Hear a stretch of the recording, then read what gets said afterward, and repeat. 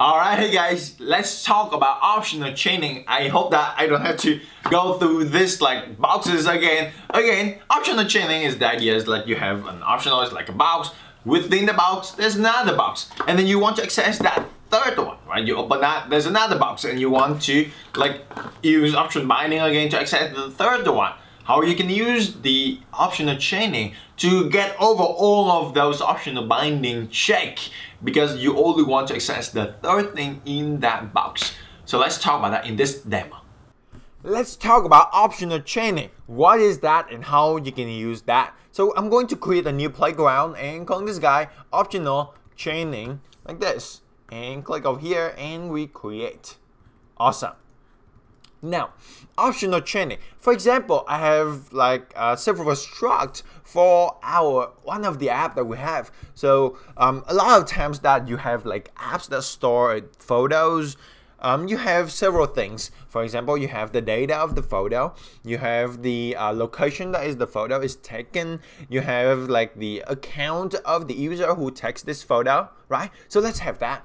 Number one, the number one struct I have is location taken or just let, let's have a struct location like this. And then I have a var the type is an integer and the var the y is an integer. How about let's have a double because the latitude and the longitude is usually a double okay? So let's say this is latitude and this is the longitude like this. Cool? Next thing let's have a struct for our photo. And a photo, very simple, it has some data, right? The data on photos, on videos, anything that you see on your computer, on your phone, on any kind of devices, it can turn into a bag of data, zeros and ones, unless you use that in a quantum computer, which we do not program for at least now. Okay, so var data here we put as ns data. I'm sorry, as data, like this. Okay, and then we have var, the location is our location, like this. Now, here comes the job of a developer. The data of the photo here may not exist because maybe there's some corruption with the camera maybe there's some internet connection that when you download the photo it doesn't give you the data so it can be nil and to denote that this thing is nil, we use the question mark, right? And the same for the location. Maybe the user turns on location services, maybe the user does not. So we have to use optional here to note that this can be nil. It can be nothing. It doesn't have the value. Cool. All right, let's have another struct called profile data. Okay, the data, uh, the profile about let's have the profile data. Let's have the profile like this. And then the profile, it has like a photo, which is a photo, and it has a unique ID, which is a string. Now in this case, in this case, the unique ID is required because every single user must have a unique ID, otherwise it will corrupt the whole infrastructure of an app. But the photo, the user may provide you a photo or may not provide you a photo. So again, that is optional, right? So I hope that by giving you like different examples, different ways to think about uh, optional, you'll have better understanding of optional. Cool? Okay. Let's have the last struct that we talk about. Let's say we have a struct called account. And this account has like a var username is a string and has a profile which is a profile of the user. Okay, now uh, it may not make sense if we separate these two objects, but I just want to demonstrate to you the idea of another feature of optional here. Okay, so now this profile maybe when we download it, it is option. It is like we cannot download it because like the photo we have to download the photo and uh, some internet connection happens so locally in our app it doesn't exist so let's denote that is nil. Okay. So now let's have, for example, I have an account. Let's my account equals to an account like this. And we have something like uh, username is Li Chuan. The profile, I want it to be nil. Cool. Okay. Now let's say I want to have somehow of helper method, a helper method that allows me to get access to my uh, the data of my photo the data of my photo. So if I want to access the data of my photo, I have to access from the my account, right? So my account dot what is that profile, and then goes into the profile. We want to access the photo, and then in order to have the data of the photo, we have to access the data property. Make sense? So my account dot profile, so dot profile like this, right? And then in order to access the photo, we have to dot photo like that. And then in order to access the dot photo, we have to access, in order to access the data of the photo, we have to access dot data, right? All right. But now, this thing, does it seem weird? Because it has an error right here. And you see that there's an error over here. It says value of optional typed profile not unwrap, do you mean to use the uh, un explicitly unwrap? Huh. Now, the problem with this is that this profile right here is an optional. And the profile optional does not have these values. Okay? But in order to use these values, you have to unwrap it. Right? But you unwrap it like this because this is nil, so it is going to crash the app. It is unsafe. So we have to use, yeah, we have to use optional, uh, what's that? Optional binding. So uh, optional binding, if let, how about, let me make a, um, a helper method over here. Okay, so functional, uh, how about get user picture data. But I know this is not a good guy, so function, how about we have like not a good way to get photo data like that and then it returns for us data like this okay and then the method but now this data right here it may or may not have the data so we use optional. Okay so let's delete this line over here. So here not a good way number one if we want to access the data up up the chain like this. Number one we have to access the photo. But the photo here can be nil. So we have to use if let profile equal profile data equals or you know what let uh, if let unwrap profile equals to profile like that so this unwrap profile is going to be a profile not profile optional you see this but now and then another one, let's have if let, we want to access the photo, but we also have to unwrap the photo. So unwrap photo equals to unwrap profile, and now we can access the dot photo. This? And open and close curly braces. Okay. Now you see the pattern that we use a lot of unwrap here. Do you see that? Yeah.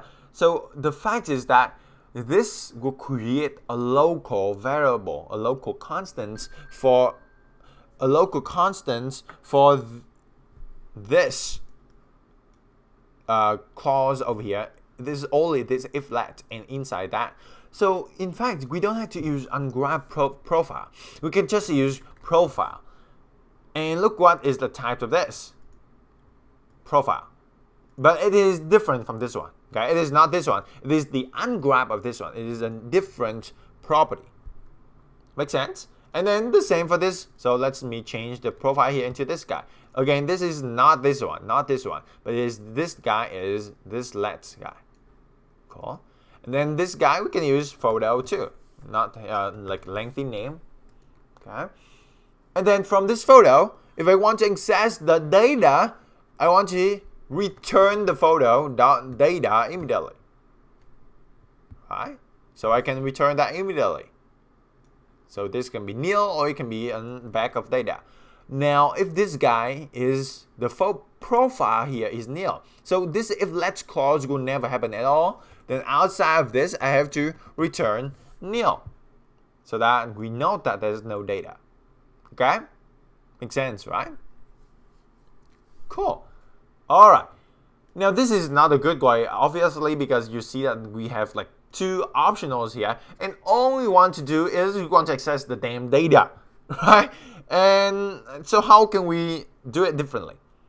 How can we make sure that we do it differently and better? There comes optional chaining. The idea here is that you want to access like the upper chain of some values of some optionals. So you want to do all of these things in just one line of code and safely. So here is the good way. Func get user profile picture data and we returned a data optional just like this very simple just like this right? But here instead of doing a bunch of lines like that I'm going to just return our profile which is this guy. Again we are in the account our profile and then we want to access the photo property but the photo property it can be nil. So we use the optional chaining operator like this. And then we dot photo okay and then this photo again here it is optional. And so it can be nil. So we want to access these properties but we want to do it safely. So I will use optional like this. Remember it is not that but this. Okay and then we dot data and you see that there will be no error. Everything is safe. Everything is cool. But what is the idea behind this all? The idea behind these all is that we want to use this optional chaining property, and this optional chaining property only means only means is that we want to access okay profile of this guy, but it can be nil. So if it is nil, then don't access this because if it is nil, don't unwrap it because if we unwrap the nil property, it will be uh, it will crash the app. So all it means is that if this is nil, don't do the whole chaining like this. Just return the nil. If this profile is nil, we will have this is nil. The return is nil. And if it is not nil, we go deeper into this. We access the photo, right? If it is this profile is not nil, we access the photo. And if the photo is not nil, then access the data. But if the photo is nil, then return nil. And do not access the data or do not call any method behind this chain. Makes sense, right? Okay, I hope that makes sense. And if it doesn't make sense, please just ask your question below for me, okay? Now, that is optional chaining, pretty much. We just access a chain of optional properties like these and using like a helper operator like that. But the um, it is very convenient way and programming wise uh, for like Swift programmer, it's very very convenient and really safe. But in pro uh, performance wise, it means that the uh, implementation of these orgs, these lines of code is practically the same things as these. Under the hood, this thing, Swift the compiler of Swift or Swift, um, the what's that? The SDK of Swift, it's just do this. Okay, it's just more like generalized. Cool. So behind the scene, it will just like this. So I know this is just like concept and um, it's just the first time maybe you know about this. So behind, below this video, you'll find a link for you to download a code challenge project for you to try these ideas out. So please, as always, try out the code challenge. Download your code challenge project and try it out. And let me know what do you think about that.